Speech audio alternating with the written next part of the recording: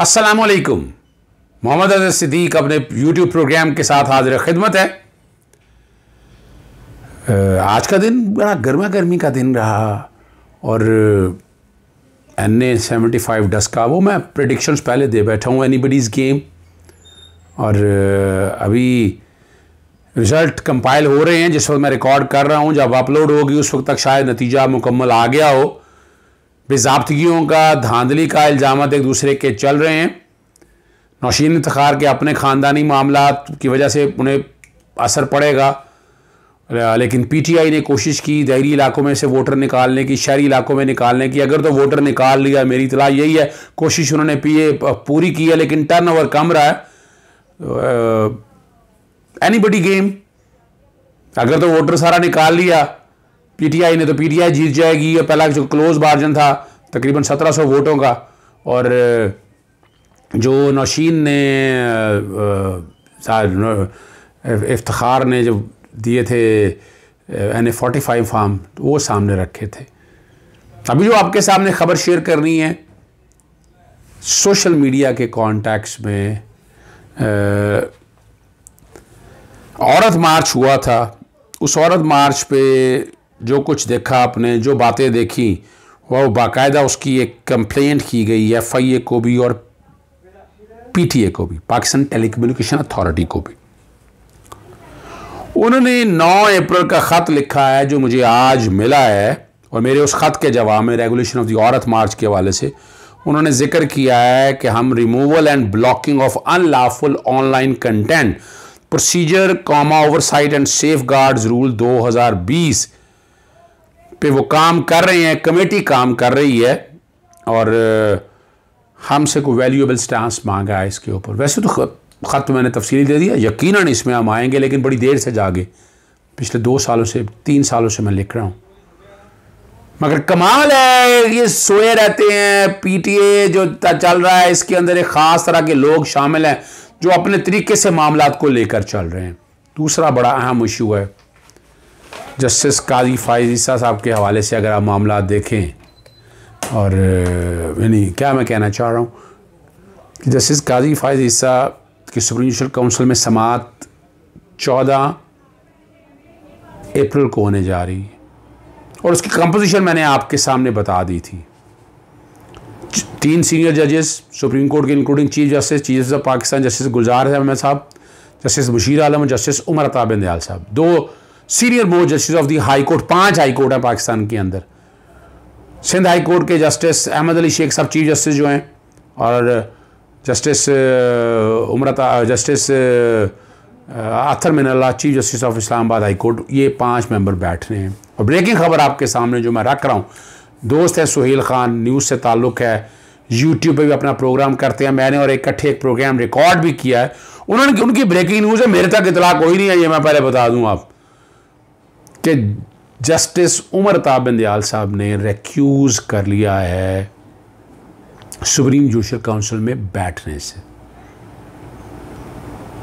Justice قاضی فائز کو اعتراض رہا، سارے ججز پہ اعتراض رہا ان کا۔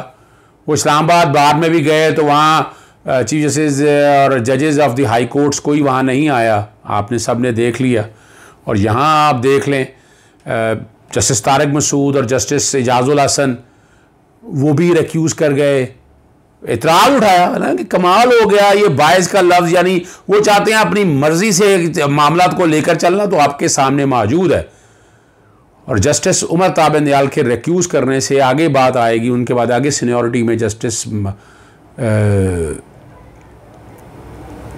مقبول باقر صاحب ہیں۔ اور جیسے مقبول باقر صاحب بھی اگر وہی بیس بنائی جائے کہ دس رکنی بینچ جو نظر ثانی کی درخواست سماعت کرنے جا رہا ہے، وہ تیرہ تاریخ کو لگی ہے۔ وہ تیرہ اپریل کو لگی ہے، غالباً ساڑھے گیارہ بجے کا ٹائم ہے جو لارجر بینچ بیٹھے گا۔ اور اس میں آپ کو لارجر بینچ میں آپ کو پتا ہے کہ لاسٹ ڈیٹ پہلے تو نظر ثانی کی درخواستوں پہ اعتراض آیا کہ وہی بینچ سنیں بہرحال وہ فیصلہ ہو گیا۔ پھر درخواست آ گئی لائیو ٹرانسمیشن چلنی چاہیے۔ اس پہ جسٹس قاضی فائزہ نے باسیہ سائل جو آرگومنٹس دیے، بہت سے لوگوں کو اعتراض ہے، ہم سب نے دیکھ لیا۔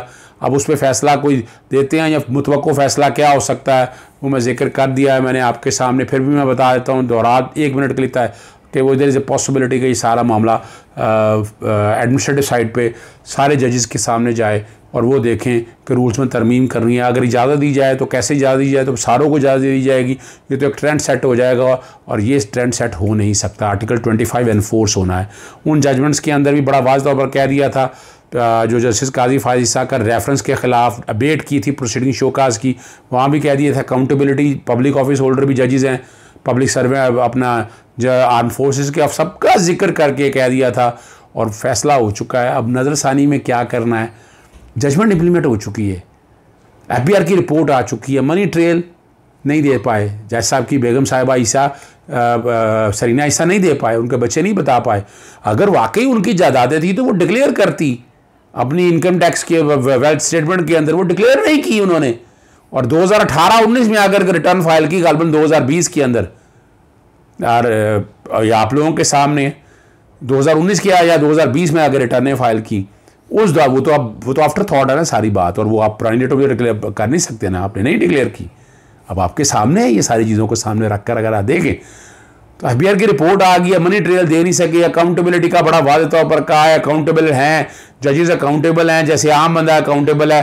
بتایا تھا کہ یہاں ایک جو پریولیج ہے نا ججز کو اور جو ایڈوانٹیج ہے اور وہ ضروری ہے عدلیہ کی آزادی کو برقرار رکھنے کے لیے they are not accountable before any anti corruption courts anti corruption department کے یا نیب کے department they are not under not under the jurisdiction of NAB. اب نا اگر پبلک آفیسر نیب کے جورزکشن کے تحت ہو تو وہی حال ہوگا۔ نوے دن کا ریمانڈ ہوگا، گرفتاریاں ہوں گی، جیلوں میں جائیں گے تو اس سے عدلیہ کی آزادی کمپرومائز ہو جائے گی۔ اور ججز اپنا آزادانہ مختارانہ آزاد کام نہیں کر سکیں گے۔ اس لیے آئین کے آرٹیکل دو سو نو کے تحت سپریم جوڈیشل کاؤنسل معاملہ گیا ہے۔ اب آتے ہیں اصل بات کی طرف۔ نظر ثانی سننا ہے۔ سپریم کورٹ آ کے دیکھے گی بڑا مشکل ہے ایڈمٹ ہونی ہے، ابھی نظر ثانی جب ایڈمٹ ہوگی، پھر دیکھا جائے گا۔ کہ نظر ثانی کا کیس بنتا ہے۔ کون سی error apparent on the face of record ہے؟ آرٹیکل 188 کو سامنے رکھ کے یا سپریم کورٹ رولز کو یا ججمنٹ کو سامنے رکھتے ہوئے نظر ثانی بڑا کم سکوپ ہے۔ خاص طور پر اس ججمنٹ ججمنٹ جب انفورس ہو چکی ہے امپلیمنٹ ہو چکی ہے فیکٹ فائنڈنگ اور کہا ہی کچھ نہیں ہے۔ اور سارا معاملہ چھوڑ دیا سپریم جوڈیشل کاؤنسل پہ۔ آج خود نوٹس لینا ہے۔ آج خود نوٹس کا اختیار کرے۔ ڈیٹا سارا آ گیا ریکارڈ اور یہ آنکھیں بند نہیں ہو سکتی ہیں۔ یاد رکھیے گا اس سارے معاملے میں۔ سپریم جوڈیشل کاؤنسل آنکھیں بند کر کے نہیں بیٹھ سکتی۔ اتنا سیریس ایشو ہو۔ اور نظر ثانی میں اب طے کرنا ہے اب وہ جسٹس قاضی فائزہ خود پیش ہوتے ہیں بذاری بازیت سائل یا ان کے وکلا کو کہتے ہیں، یہ دیکھیں گے تیرہ تاریخ کو کیا ہوتا ہے۔ چودہ تاریخ کے لیے آپ کے سامنے بات آ گیا اگر جسٹس عمر عطا دیال نے ریکیوز کر لیا، تو پھر اس میں وہ نہیں بیٹھیں گے۔ اور اس کے بعد سینئر موسٹ جسٹس جو آئے جو آئین کے آرٹیکل دو سو نو سب آرٹیکل تین کے تحت ہے، اس سے اگلا سینئر جج آئے گا۔ جسٹس عمر تابند بندیال صاحب کے پاس اگلا سینئر جج جسٹس قاضی فاضی صاحب، ان کے خلاف پروسیڈنگ چل رہی ہیں۔ تو وہ تو اس بینچ کا حصہ نہیں ہو سپریم جوڈیشل کونسل کا حصہ نہیں ہو سکتے۔ ان کے بعد باری آئے گی جسٹس مقبول باقر کی، جسٹس مقبول باقر کی دس ممبر بینچ کا حصہ ہے۔ جیسے جسٹس عمر عطا بندیال نے اپنے آپ کو ریکیوز کیا ہے، تو اس کے سامنے پھر جسٹس منظور ملک صاحب ہیں، جسٹس منظور ملک صاحب بھی دس ممبر بینچ کا حصہ ہے۔ پھر آ جائیں گے جسٹس طارق مسعود صاحب اور جسٹس جاز الحسن صاحب، وہ بیٹھ سکتے ہیں، میں آپ کو کلیئرلی بتا دوں۔ انہوں نے بینچ میں بیٹھنے سے ریکیوز کیا تھا سپریم جوڈیشل کاؤنسل کے حوالے سے ریکیوز نہیں کیا تھا۔ Supreme judicial council administrative wearing ہے کواسائے جو کواسائی انویسٹیگیٹو پروسیڈنگ ہے یا کواسائی جو بھی آپ اس کو کہیں کہ ایک انویسٹیگیٹو پروسیڈنگ ہونی ہے جو جج کے مس کنڈکٹ کے حوالے سے دیکھی جائے گی جو کہ پراپرٹیز ڈکلیئر نہیں کی ہیں تو کنسیڈر ہوں گی۔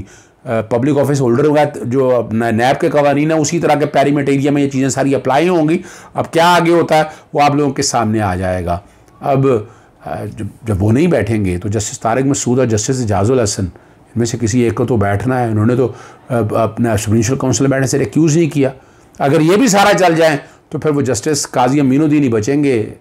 جسٹس امین الدین خان صاحب بچیں گے۔ جسٹس امین الدین خان جسے قاضی امین امین الدین خان بچیں گے۔ وہ پھر یعنی سب سے جونیئر جج جو ہے، اب یہاں بھی ایک مسئلہ آ جائے گا سب سے جونیئر جج جو ہے اپنے سینئر جج کا احتساب کرے گا۔ قانون میں کوئی کوئی رکاوٹ نہیں ہے۔